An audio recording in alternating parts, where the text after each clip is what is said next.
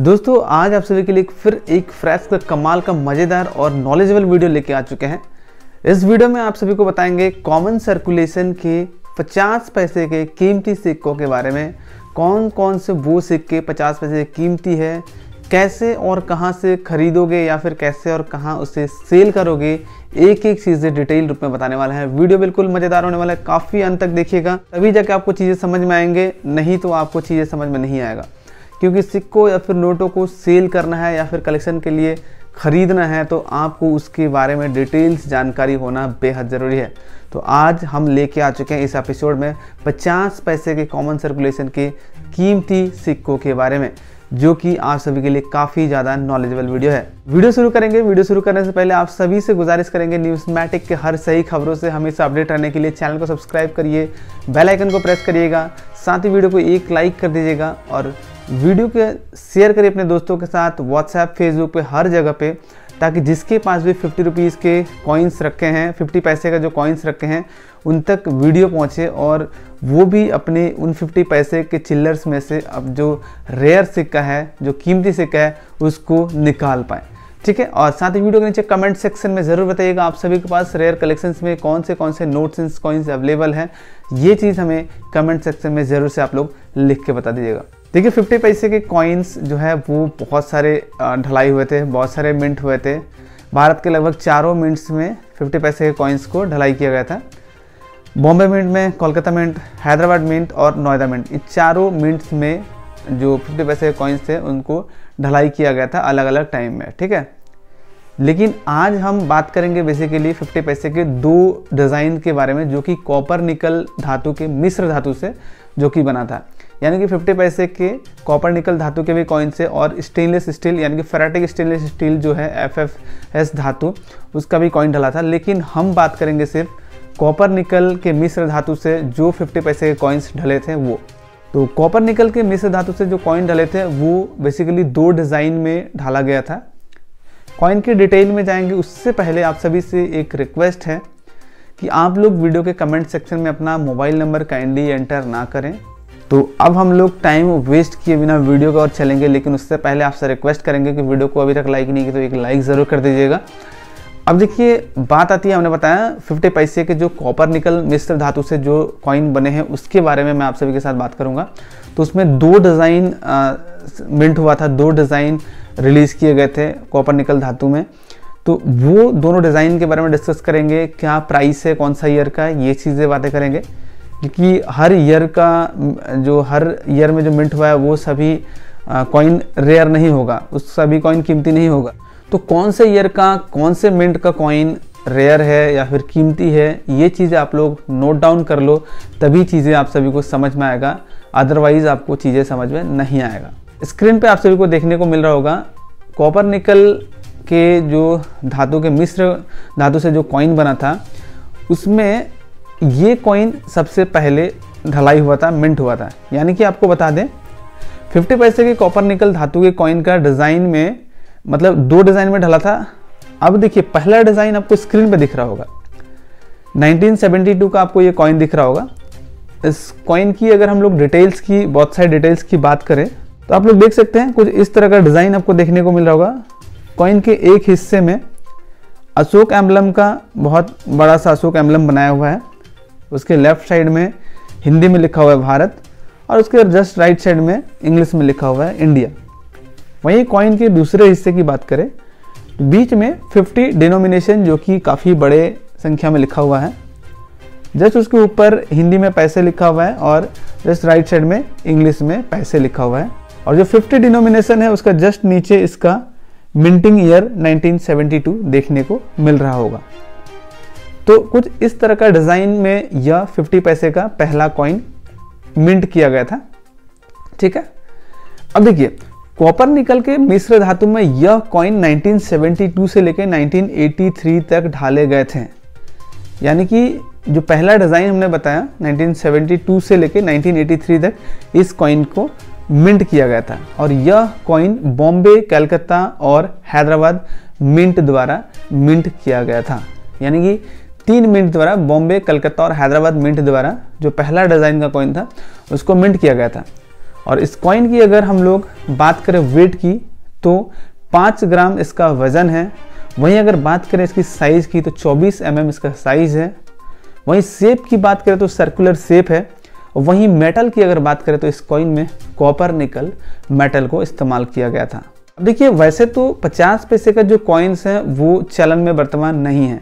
लेकिन सरकार द्वारा इसे डिमोनेटाइज नहीं किया गया यानी कि अभी भी इसके पास लीगल टेंडर है। अगर आप किसी को 50 पैसे दे रहे हो तो वो लेने के लिए मना नहीं कर सकता है। क्योंकि सरकार ने इस कॉइन को अभी तक डीमोनेटाइज नहीं किया है। तो देखिए अगर इस तरह के सिक्के आपके पास हैं तो आप लोग देख ले कि उसमें से 1978, 1980 और 1983 के सिक्के बहुत महँगे होते हैं। यानी कि तीन ये 72 से लेके 1983 तक ढला था। लेकिन सभी ईयर का कॉइन महँगे नहीं है।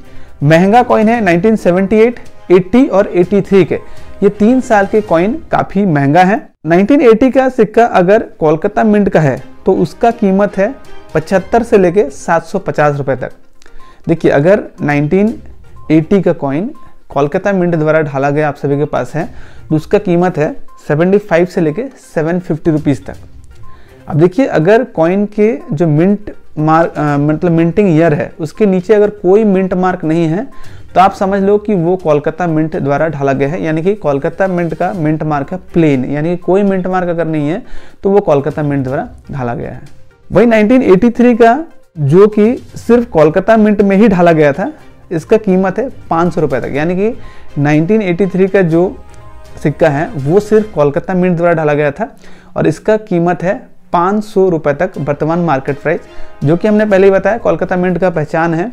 मिंट, जो मिंटिंग ईयर है, उसके नीचे कोई मिंट मार्क अगर नहीं है तो वो कोलकाता मिंट द्वारा ढाला गया था। इस डिज़ाइन का सबसे महँगा कॉइन है 1978 का बॉम्बे मिंट का। जी हाँ जो पहला डिज़ाइन है, इसमें से सबसे महँगा कॉइन है 1978 का बॉम्बे मिंट का। अब देखिए, बॉम्बे मिंट का पहचान कैसे करोगे? बॉम्बे मिंट मार्क का पहचान करने के लिए कॉइन के मिंट ईयर के जस्ट नीचे अगर डायमंड मिंट मार्क है तो वो समझ लो कि बॉम्बे मिंट द्वारा रिलीज़ किया गया है। और बॉम्बे मिंट द्वारा ढाला गया यह पचास पैसे कॉइन का, वर्तमान मार्केट प्राइस से दो हज़ार रुपये तक। जी हाँ बिल्कुल सही सुना, इस कॉइन का प्राइस है पूरे दो हज़ार रुपये तक। तो ये था हमारा पहला जो पचास पैसे का डिज़ाइन है, जो कि 1972 से 1983 तक रिलीज़ किया गया था। इसके डिटेल्स और कितने प्राइस है ये। अब हम चलेंगे जो दूसरे डिज़ाइन है, पचास पैसे का, जो कॉपर निकल मेटल का दूसरे डिज़ाइन है, उसके और। कॉपर निकल के मिश्र धातु में यह कॉइन 1984 से 1990 तक ढाले गए थे। यानी कि दूसरा डिज़ाइन आप लोग स्क्रीन पे देख रहे होगे। ये डिज़ाइन काफ़ी अट्रैक्टिव है। पहले से काफ़ी ज़्यादा चेंज किया गया है। ये भी कॉपर निकल धातु से ही ढाला गया। ठीक है? कॉइन की दोनों साइज़ आप लोग, दोनों साइड आप लोग देख सकते हैं किस तरह का है।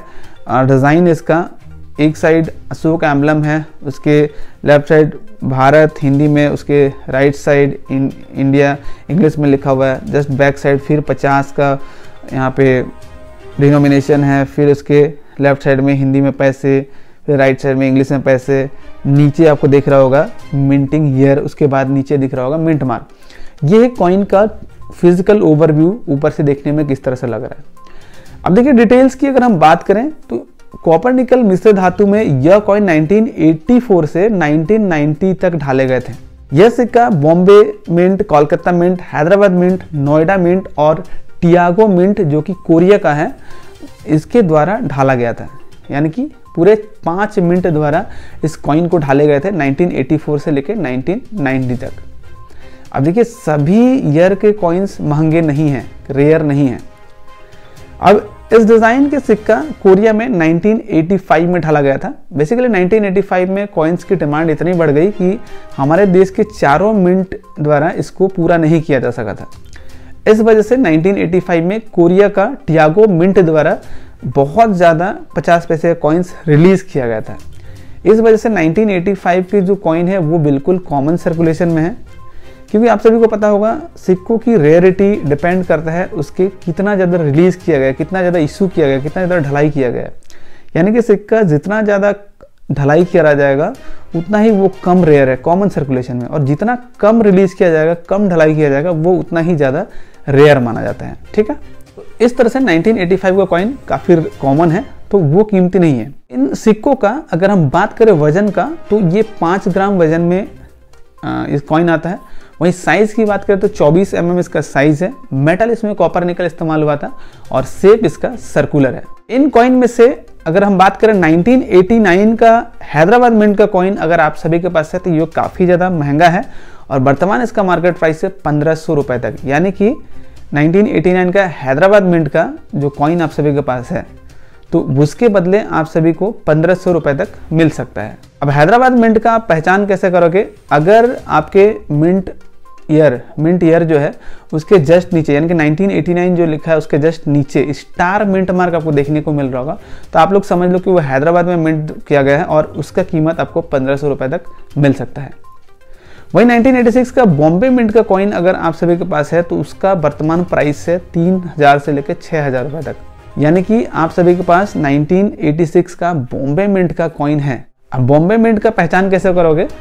कॉइन के मिंट ईयर के जस्ट नीचे अगर डायमंड मिंट मार्क आपको देखने को मिल रहा होगा तो ये कॉइन काफ़ी रेयर है और ये बॉम्बे मिंट का है और ये आपको दिला सकता है तीन हज़ार से छः हज़ार रुपये तक वर्तमान इसका मार्केट प्राइस है।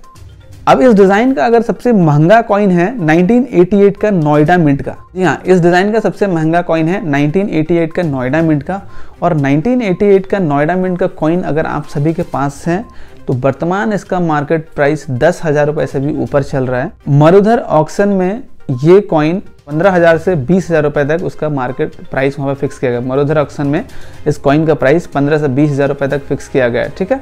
तो इस वजह से 1988 का, नोएडा मिंट का जो कॉइन है, ये काफ़ी रेयर है। अब आपको बता दें, नोएडा मिंट का पहचान आप कैसे करोगे?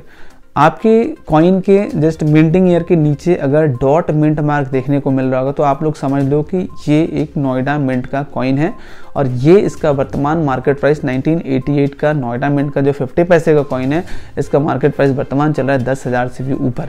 तो ये कुछ 50 पैसे के दो डिज़ाइन कॉपर निकल द्वारा मिंट किया गया इशू किया गया डिज़ाइन के बारे में हम बात किए, उसके कंप्लीट डिटेल्स हमने कवर किया है। आप सभी को उसका प्रेजेंट मार्केट प्राइस भी बताया। तो ये सारे चीज़ आप सभी के सामने हमने रखा। वीडियो अब अगर अच्छा लगा हो तो एक लाइक ज़रूर करिएगा। काफ़ी ज़्यादा नॉलेजेबल वीडियो था ये। और साथ ही आप सभी को बता दें, आने वाले टाइम में जो भी ऑप्शंस होंगे, उन ऑप्शंस में जाके इस तरह के कॉइन्स को आप इजीली सेल या फिर बाय कर सकते हैं। तो यही था आज की वीडियो में। अगर वीडियो ज़्यादा से पसंद आया तो वीडियो को लाइक शेयर करिए।